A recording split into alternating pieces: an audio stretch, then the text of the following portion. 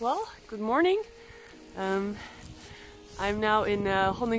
I had my first night in a tent. I think it was the worst night I've ever had in a tent in my life. It was so cold. I think it's because of the, um, the sleeping mat that I bought that is uh, filled with air. Um, so it was just so cold to lay on.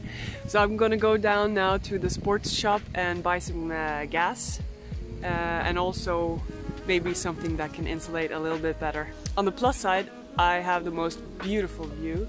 And I'm gonna go down now and have a look around. And then I'm gonna take the bus up to Nordkapp at around 11.30 and then I'm officially starting my uh,